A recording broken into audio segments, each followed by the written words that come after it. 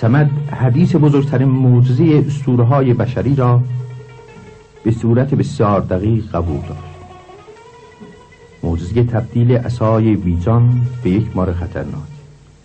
اسای موسا به مار موسا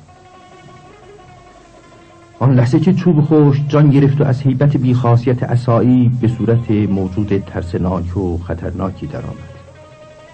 اسا در دست موسی یک اسا بود می‌شد به اون تکی کرد.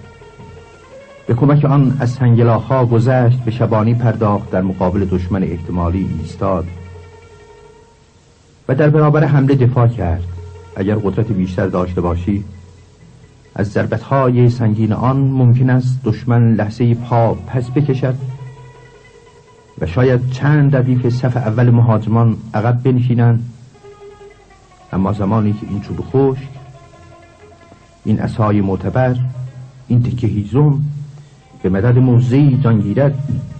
اگر نه یک اجدهای عظیم به صورت مار کوچک و هوشمندی درآید در آن صورت چه ولولی در صف دشمن به وجود خواهد آمد. امانشان را خواهد برید نه تنها در بیداری که در خواب نه تنها در میدان که حتی در جانپناه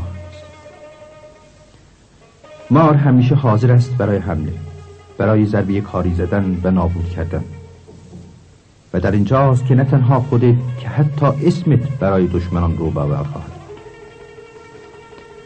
اصلا را می شود گرفت و شکست و کنار راهی انداخت. چوبی بیش نیست. مهمترین خاصیتش محکمترین ضربتی است که فرق یکی را می شکافد و در این فاصله ممکن است فرق تو نیز بشکند. اما خاصیت ما قایم می شود حمله می کند هر لحظه احتمال دارد که دوری گردنت بپیچد.